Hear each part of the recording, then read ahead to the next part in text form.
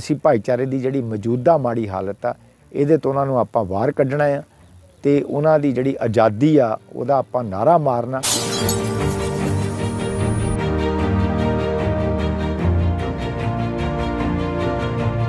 ਮਸੀਹ ਭਾਈਚਾਰੇ ਨੂੰ ਅਪੀਲ ਕਰਦਾ ਕਿ ਵੱਧ ਤੋਂ ਵੱਧ ਗਿਣਤੀ ਦੇ ਵਿੱਚ ਉਸ ਧਰਨੇ 'ਚ ਪਹੁੰਚੋ।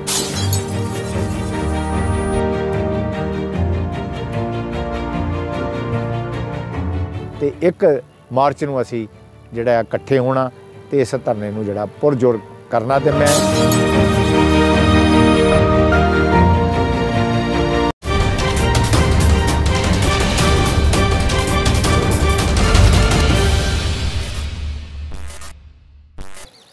ਸਭ ਤੋਂ ਪਹਿਲਾਂ ਤਾਂ ਖੁਦਾਵੰਦ ਦੇ ਅਜੀਮ ਬਰਕਤ ਨਾਮ ਵਿੱਚ ਸਭ ਨੂੰ ਸਲਾਮ।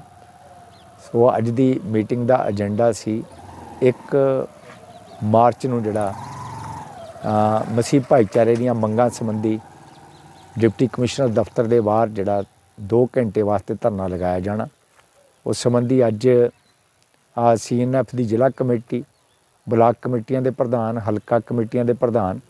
ਤੇ ਪਿੰਡ ਇਕਾਈ ਦੇ ਪ੍ਰਧਾਨ ਤੇ ਸਾਰੇ ਮੈਂਬਰ ਸਹਿਬਾਨ ਇੱਥੇ ਹਾਜ਼ਰ ਹੋਏ ਧਾਰੀਵਾਲ ਦੇ ਵਿੱਚ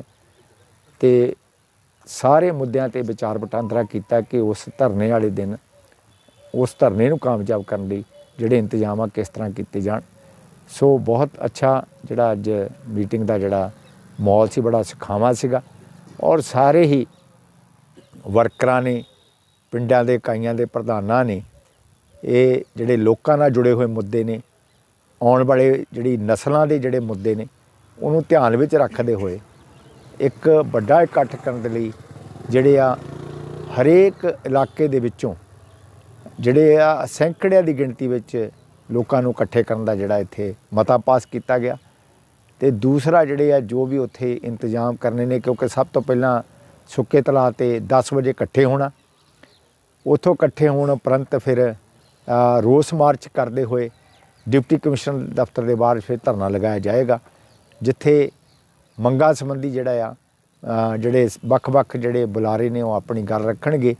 ਕਿ ਕਿਸ ਤਰ੍ਹਾਂ ਆਜ਼ਾਦੀ ਦੇ 75 ਸਾਲ ਬਾਅਦ ਵੀ ਮਸੀਹ ਭਾਈਚਾਰਾ ਅੱਜ ਵੀ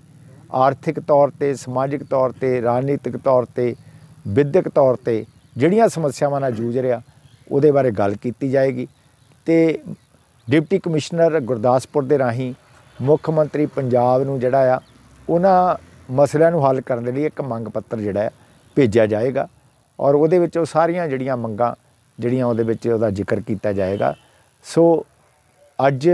ਜਿਹੜਾ ਅਸੀਂ ਇਹੋ ਹੀ ਮਤਲਬ ਪ੍ਰਣ ਕੀਤਾ ਆ ਸਾਰਿਆਂ ਨੇ ਕਿ ਅਸੀਂ ਮਿਲ ਜੁਲ ਕੇ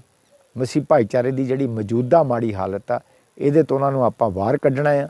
ਤੇ ਉਹਨਾਂ ਦੀ ਜਿਹੜੀ ਆਜ਼ਾਦੀ ਆ, ਉਹਦਾ ਆਪਾਂ ਨਾਰਾ ਮਾਰਨਾ